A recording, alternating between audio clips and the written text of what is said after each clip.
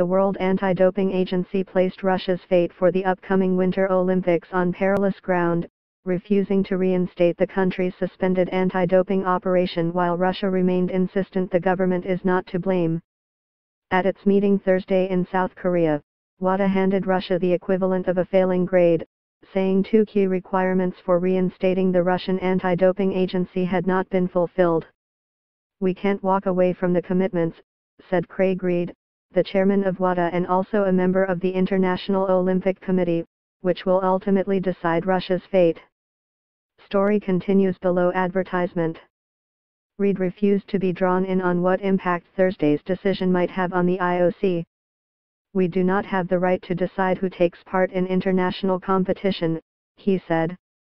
I am quite certain that the IOC would prefer that RUSADA was compliant. The IOC said its executive board, due to meet December 5 to 7, will take all the circumstances, including all the measures to ensure a level playing field at the Olympic Winter Games 2018, into consideration when it decides on the participation of the Russian athletes. Among those circumstances will be Russia's continued denial that a state-sponsored program existed. Leaders in the country have depicted the doping program that marred the 2014 Games in Sochi as the work of individuals, not the government.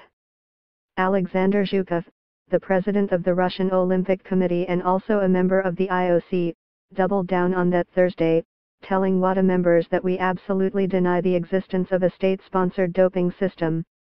It is clear that an unconditional recognition of the McLaren report is impossible, Zhukov said such a requirement cannot, and should not serve as an obstacle to the full compliance of RUSADA. The Kremlin also repeated the denial of any government backing for dopers.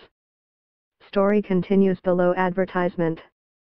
Story continues below advertisement. WADA's decision was unpleasant news.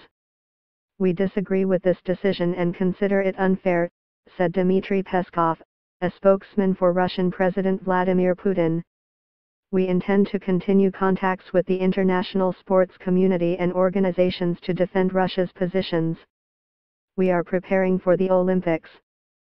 Meanwhile, the honorary president of the Russian Olympic Committee, Leonid Tyagachev, told Govorit Moskva Radio that the key whistleblower on the Sochi scandal, former Moscow lab director Grigory Rodchenkov simply needs to be shot for his untruths.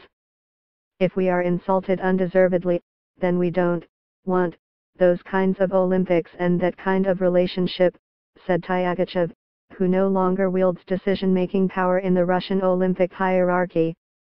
We will not kneel. USADA chief executive Travis Tygart described the latest development as another sad moment in this entire sordid affair. There was really no other outcome, based on their unwillingness to admit what the flood of evidence proves, Tygart said. Now clean athletes are watching anxiously to see if the IOC similarly will take action to finally stand up for their rights or not. Before last year's Summer Olympics in Rio, WADA recommended a complete ban of the Russian team but the IOC refused to go along, instead allowing individual sports federations to determine eligibility of the athletes.